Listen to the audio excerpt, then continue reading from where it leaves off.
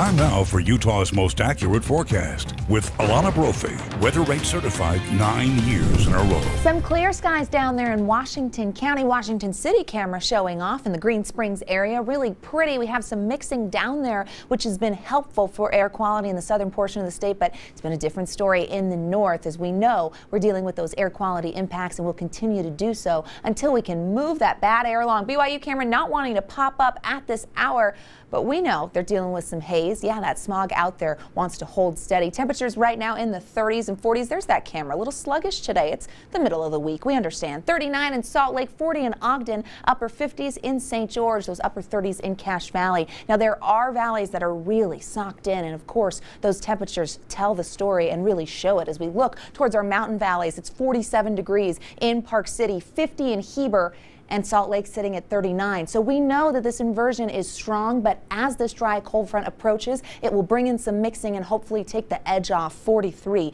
in Sandy right now. We do have portions of Utah County that have mixed out. There's the front. Let it come on through. It's going to increase cloud cover. We'll take any movement in the atmosphere. And we also keep our eye as that front kind of comes on through. It's dry, so we're not going to get any precip with it, but hopefully enough mixing as we head into Thursday where we're going to increase some of that cloud cover. As we look at it, we watch our our weather. We watch the front come on through tonight.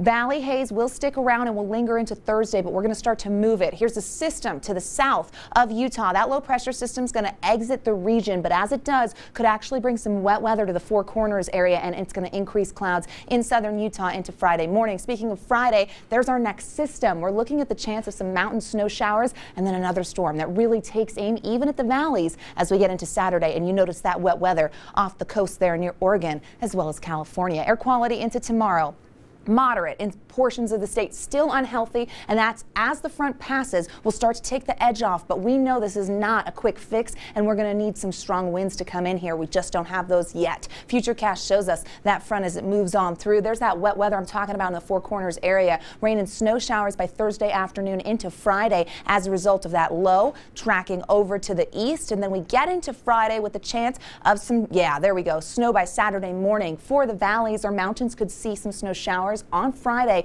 But as that system tracks closer to Utah, that's when we could see the snow levels falling down to the valley level, which would be nice. We need that moisture, right? And of course, an active pattern gets welcomed into the state with another system moving in for Monday, bringing snow. Here's a look at that regional where we get those low 40s, upper 30s into tomorrow along the Wasatch Front. We check the western side of the state, high of 40 in West Valley, 44 in Castle Dale. Eastern Utah will stay in the upper 30s in the Uinta Basin with low 40s in the Four Corners area. And again, wet weather in southeastern Utah, 58 for that high expected in St. George. Speaking of Washington County, here's the next several days where we increase cloud cover as that system exits. A little bit of a breeze Friday into Saturday. The Wasatch Front shows you those numbers for Hanukkah. A high of 41 kicks off tomorrow. Chance of snow showers Friday. Better chance with valley snow Saturday. Again Monday and then again Tuesday into Wednesday. Hello, did somebody call for snow?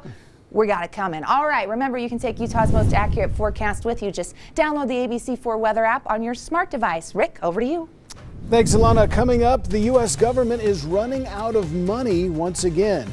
How this could play into the fight over COVID relief.